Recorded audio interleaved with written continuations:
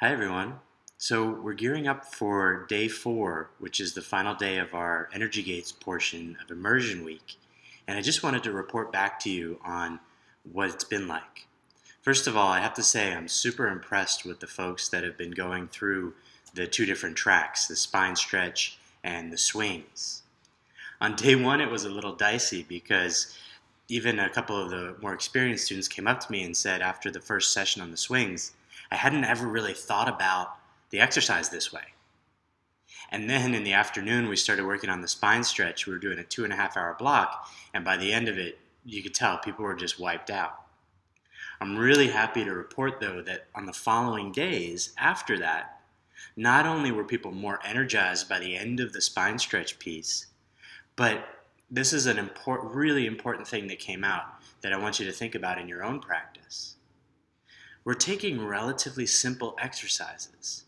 And this group has demonstrated an incredible ability to take the relatively simple exercise and then turn it and look at it from multiple points of view without conceptually or sort of intellectually trying to figure out how all the pieces glue together. And often there are a lot of what seem like at first, if you just think about the words or you think about the concepts, seem like there are a lot of paradoxical ideas, a lot of concepts that don't mesh. But as we've learned from doing Qigong all this time, a separate and combine approach this way, this sort of multifaceted viewing of the whole, gets you to these gel points that integrate these seemingly contradictory elements. I give you an example. In the swings, and the first thing we really worked on and really looked at was just letting go of the joints in the legs. And when you do this the right way, if you take the knee joint or take you know any of the, the sections of the leg joints, when they release, you release into the ligaments and into the springs. And if you have the right biomechanical alignment, you get a rebound out of those joints that sends a wave back up from the ankle, from the foot, really from the ground, and that can move you right? That's so different from pushing and turning side to side.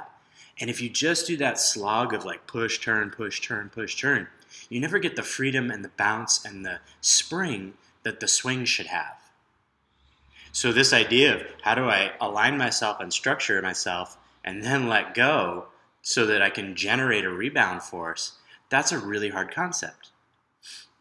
And typically, people start in the swings, they think about tissue turning, and more rigid alignments. So to go from to abandon the way that a lot of the experienced people are used to thinking about the swings and working on the swings and take a brand new approach without this sort of judgment of, well, how does this fit with what I used to know? This group was awesome at that, and I encourage you to try to adopt that mindset. That's a really critical thing. The spine stretch has been fascinating too because as we're working deeper and deeper into the spine, we realize that the spine stretch exercise is relatively simple mechanically. And mechanically, you can see the skeleton over my shoulder, right? Mechanically, it's really different from a lot of other exercises designed to stretch muscles or lengthen tissues around the spine. So, what's the point? Well, as part of the Energy Gates set, one of the most important skills we're developing is the dissolving ability. The ability to dissolve stuck energy and stagnant energy and get energy moving more cleanly through your system by releasing these holding points. So, what if you apply that mindset of where is dissolving in the spine stretch? All of a sudden, the mechanical piece of it doesn't become that big a deal. You have to figure that out, but it's not the main focus. There's no stretch in the spine stretch. And so you're allowed then, or you, you open up the possibility that there are these other dimensions to it. And I've said this six times probably already in the last five minutes, but this group has been really excellent at diving into a piece, feeling it, experiencing it, and then not getting all sort of in their heads about how it's going to fit with everything else. And that is the best way to learn Qigong because as you see more and more with this stuff, these exercises aren't reducible to a single purpose or a single component.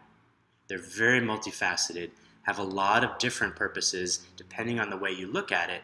And the more we can hold them as a sphere that we'll examine and explore from multiple angles, the more we're going to get out of these exercises. So, even if you weren't able to be here at Immersion Week this year, I hope you find your own way to sort of chain together an immersive style practice with whatever you're working on. And my best advice is to adopt this attitude of taking a multidimensional, multifaceted viewpoint and approach to your practice. Thanks.